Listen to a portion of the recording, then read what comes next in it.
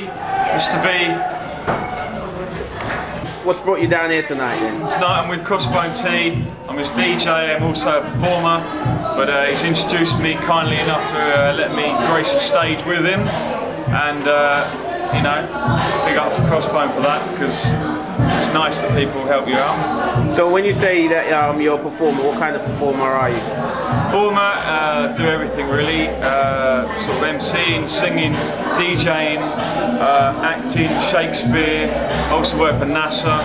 Uh, I make astronauts and shit. We do we do all kinds of stuff. Um, acting, yeah, no, comedy, everything. Okay, so the rap what you do, what kind of rap do you do then? Um, rapping, well, you know, it's just like rhyming words together and into sentences. So my manner. Yeah, yeah, yeah, You'll have to forgive me, I'm a bit pissed off. A bit. Some people have pissed me off tonight in this place, so. Okay, It's a nice place, yeah, I love Stanza, yeah, but the staff are fucking. the bar staff anyway, are fucking arseholes. So.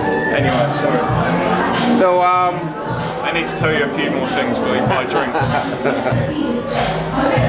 but yeah, well at least you're telling the truth anyway. You know what I mean? That's, that's. That's the that's the thing as well. Uh, with my music and my uh, everything, there's uh, hidden truth in the comedy in everything, you know. All right, so there's a seriousness behind the comedy then. Yeah, All right. life, you know. Yeah, yeah, yeah. Good, good, good. So is there a message that you, you're spreading in your music or? Yeah, definitely. It's just like you don't have to be like you can. It's being yourself. You know, don't think you've got to be some fucking someone else. What someone else thinks you should be. Be yourself. My name is Mr. B. You see the pun there? See the the link? Be yourself because if you're yourself, it will shine through whatever you do. Yeah. You know, if it's, especially in hip hop, that's what hip hop's all about. Music in general. If you're yourself, then uh, that's what it's all about.